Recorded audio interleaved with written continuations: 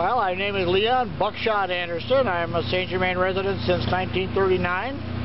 Uh, been a fishing guide for 62 years, retired last year after the aches and pains told me to quit. Uh, taught school for 36 years, uh, helped run a resort for 34, and uh, was inducted into the Fishing Hall of Fame as a legendary guide in 2001. Lots of people here, they buy my product, and I get to see some of my neighbors that I don't normally see. If I don't come here, they come to talk to me and chew the rag and tell fish, fishing stories and lies, you know how we fishermen are.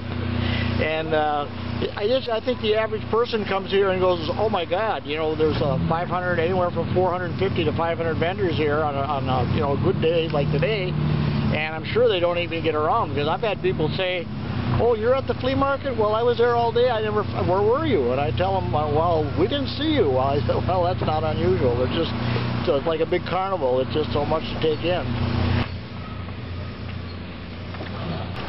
I uh, been collecting for 20 years, and I have had a supplier,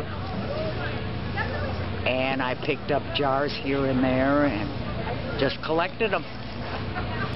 Well, these are my brass buttons. You have to keep them separated from the regular ones. These are my bigger buttons. These are my uh, pearl buttons or um, shell buttons, and then these are my buttons on cards, and my bigger metal buttons. And then I have a lot of black buttons, so I put them in here. And then I have these buttons, and they're fun.